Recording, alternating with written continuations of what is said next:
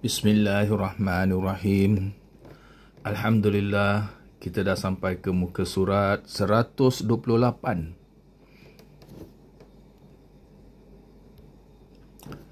Dalam pelajaran ini, kita diberitahu bahawa bunyi tanwin. Apa itu tanwin? Ini dia. Baris dua depan, baris dua atas, baris dua di bawah. Ini dia. Baris dua di depan, baris dua di atas, baris dua di bawah. Itu namanya tanwin. Jadi, dalam pelajaran ini, bunyi tanwin dibaca idram. Apa itu idram? Iaitu dibaca dengan memasukkan ya, memasukkan bacaan tanwin ke dalam lam, huruf lam tanpa dengung. Ha, ini dia contoh tanwin. Tanwin bertemu dengan lam. Ha, sini kita tengok dia satu contoh. Izan. Zan ni tanwin kan? Baris atas dua. Tapi izan bertemu dengan lam. Jadi dia tak bunyi izan dia bunyi izal izal uh, sebab sebab tu ada sabdu jadi izallar lam alif ra mati atas lar jadi izallar tabah jadi lam ni bunyi dua kali. Pertama bunyi izal lam yang kedua bunyi lar. Kenapa lar? Tu ada ra ada mati. Lam alif ra mati atas lar. Ta alif atas ta ba atas ba. Ha, ini tulisan dia. Idzal lar ba. Itu tadi ejaan dia kalau bunyi dia izal kan bunyi la bunyi lam sorry izal lar ta ba ini lam yang pertama tadi ya? Lam yang pertama bunyi izal. Lam yang kedua bunyi lar. Lam alif ra mati atas lar. Ta ba. Uh, tapi tulisan tulisannya macam ini. Bunyinya macam ni. Iaitu bunyinya zal. Izal. Tak boleh bunyi izal. Tak. Tak boleh bunyi izai. Tak. Bunyinya tak boleh bunyi izan tak boleh bunyinya di idram manusia maksudnya bunyi zal bunyi zan dimasukkan dalam lam jadi idzallartaba uh, kemudian kita tengok lagi yang dia beri kat sini libas libasul lakum ha? mana dia ni dia tanwin tanwin ini berbentuk baris depan. Dan dia macam nombor 99. Libasul lakum. Uh, ini saya nak cerita sikit ni. Sebab tu lu punya nombor 99 ni. Kenapa baris depan dia nombor 99 ni? Iaitu menunjukkan dia ada ada ada hukum tajwid iaitu di sini hukum tajwidnya adalah idgham sebab dia dia tulis 99 kalau dia tidak ada hukum tajwid dia macam nombor 69 uh, libasun libasun sun tu baris tanda depan tapi nombornya macam macam nombor 69 namun yang ini adalah idgham sebab tanwin berjumpa dengan lam jadi ada hukum tajwid idgham di sini jadi dia tandanya baris depannya seperti nombor 99. Jadi kalau kita nampak nombor 99 ni maknanya ada ada ada hukum tajwid kat situ. Yang ini bunyi je libasul lakum. Ha, itu tajwid dia iaitu idgham. Idgham dia tanpa dengung. Ha. Libasul lakum dalam bahasa Arab dipanggil uh, idram bila guna idram bila guna iaitu idram yang tidak ada dengung libasul lakum dan dia tak dibaca panjang tak dibaca libasul lakum salah Yang betul libasul lakum. Ha, kemudian kita ada aduwul lil kafirina. Aduwul lil kafirina. Ha, ini tanwin baris depan lagi sekali. Dia bertemu dengan lam. Jadi dia macam nombor 99. Dan dia ada sabdu ni. Jadi sini ada sabdu juga. Adu. Adu dal waw sabdu depan du kena adu lil kafirina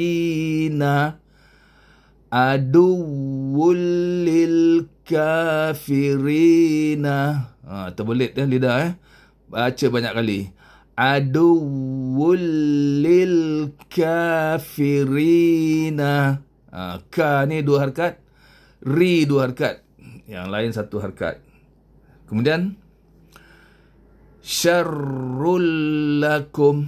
Ha, ini pun sama. Ra dia ada sabdu bunyi dua kali syar. Ra yang kedua bunyi rul. Ra lam sabdu depan rul. Syarrul lakum. Ha, ini dia hukum dia idgham dia. Tanwin bertemu dengan lam bunyinya rul. Syarrul lakum. Ha, yang ini pula wasiyatan li azwajihim wasiyatan li azwajihim Baik kat sini kita tengok sad ya sabdu bawasi. Ha, jadi wasi tak boleh wasi.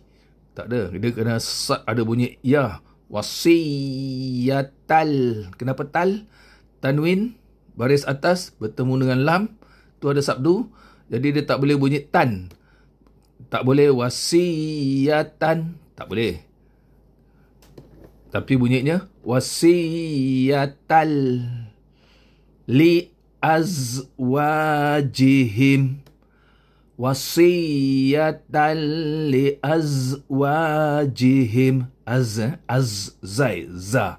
Ni wa dua harkat ya sebab dia mat asli. Ha ni wasiyatan lil az salah sikit ya wasiyatan li azwajihim ha, kena baca banyak kali lah. Seterusnya islahul lahum. Ha, islahul lahum. Uh, la dua harkat. Yang ini ha dua depan bertemu dengan lam jadi bunyinya hul islahul lahum. Ha, tengok ni eh lam dia pendek aja. Dia terus sambung dengan ha dada sambung dengan mim. Jadi la ni ada atas ini baris tadi. Ini hum. Ha, ini pun kita nak kena kenal eh. Bukan alif tapi dia lam kat situ. Tak berapa nampak lam dia eh. Islahul lakum. Islahul lahum. Sa, tadi salah. Islahul lahum. La dua harkat. Mak asli. Islahul lahum. Ha, sebelah dia mathabatan linnasi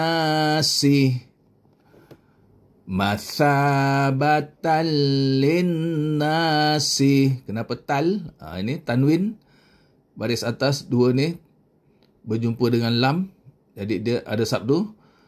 Mathabatan linnasi. Ha, ini ta sebab ada dua ada dua titik. Kan? Nampak macam ha ada. Tapi dia sebenarnya ta sebab dia ada tanda titik dua tu. Jadi masabatal linnasi. Kemudian bawahnya hudal linnasi hudal linnasi. Ha, sini mana tanwinnya? Sini tanwin dia. Ini apa ni? Ini sebenarnya alif. Hudal linnasi. Kena tapi ni tak ada peranan, dia terus masuk dekat lam. Dan ni hudan dan ni terus masuk dekat lam sebab lam ada sabdu. Jadi tanwin berjumpa dengan lam bunyinya idgham. Bunyi bunyi uh, dan dia masuk dalam lam. Jadi hudal linnasi hudal linnasi hudal linnasi seterusnya musaddiqal lima ma'akum musaddiqal lima ma'akum ha, ini mana tanwin dia? Kan bertemu dengan lam jadi ada sabdu jadi bunyinya kal kalima walaupun ada alif tapi alif ni tak bunyi. Bunyi terus masuk ke dalam lam. Yakni kalima ha, sekali. Baca banyak kali. Musaddiqal lima ma'akum. Musaddiqal lima ma'akum. Musaddiqan lima ma'akum. Seterusnya. Khairul lakum. Khairul lakum. Ha, ni mana? Tanwin. Nombor 99 ni. Run. Run. Dengan tanda 99 ni. Bertemu dengan lam. Jadi lam ini dikasihkan sabdu. Jadi bunyinya roll bukan run bukan hai bukan khairun tapi khairul lakum. Khairul lakum. Ha, ni apa hukum dia? Idgham. Ha, kalau nak arab dia idgham bila guna. Melayunya idgham tanpa dengung. Ha, cuba ingatlah eh. Ini hukumnya idgham bila guna. Yang ini khai, khai ni adalah bunyi uh, bunyi lin, lembut, lunak. Belah dia. Wa mau'izatul lil muttaqina. Wa mau'izatul lil muttaqina. Mana idgham bila guna dia? Ni dia. Macam mana kita tahu? Sebab dia ada tanwin bertemu dengan lam dan lam ada sabdu. Jadi bunyinya tul. Bukan tun tapi tul. Ha, ini pun sama. Dia macam hadada tapi dia ada dua titik tu. Maknanya dia ta. Namanya secara sebenar ta marbuta. Siapa nanti lain kali kita belajar. Nak kasih tahu saja makna dia ta. Nama dia ta marbuta. Sama macam idgham bil guna. Idgham bil guna tanwin bertemu dengan lam bunyinya tul. Bunyi tanwin itu bunyinya masuk dalam lam. Tanwin tak bunyi langsung. Izatul. Ha, tak ada tun, tak ada. Lain sekali. Wa mau'izatul lil muttaqina. Wa mau'izatul lil muttaqina. Ha, kalau tak ingat ini dirabi laguna tak apa. Ingat macam mana nak baca saja. Iaitu bacaan dia tul. Ya. Ha, kini panjang sikit eh. Kita ambil sampai sini. Kita potong-potong lah. Eh. Kalau mana yang perlu. Kita separuh, separuh saja dulu bacaannya. Qalu lau na' lamu kitalan ah, qalu law na lamu kitalan nah, nanti kita sambung ya.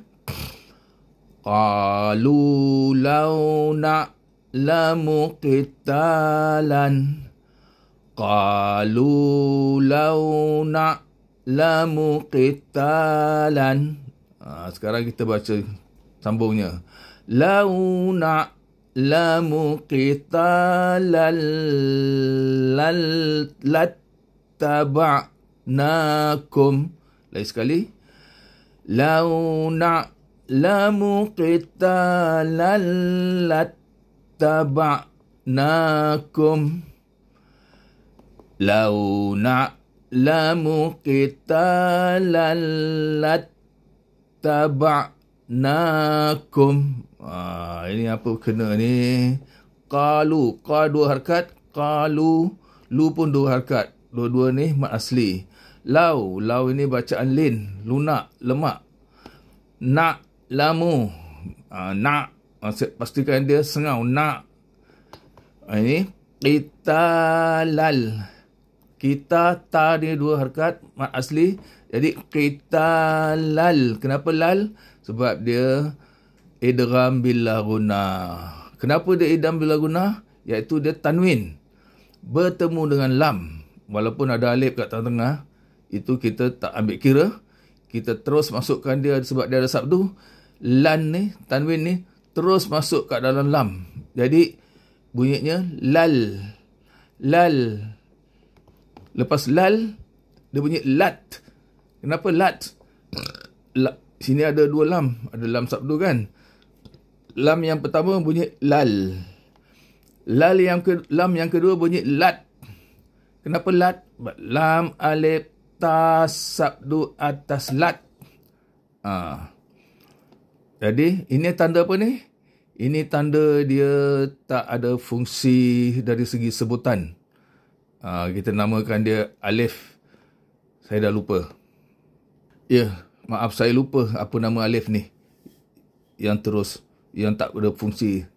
Kita terus bunyi lat taba taba pun pastikan dia sengau tab lat taba nakum lat taba nakum sekarang kita cuba baca semua sekali dalam satu nafas lah kira eh. Tak ada putus-putus. Qalu lau na lamu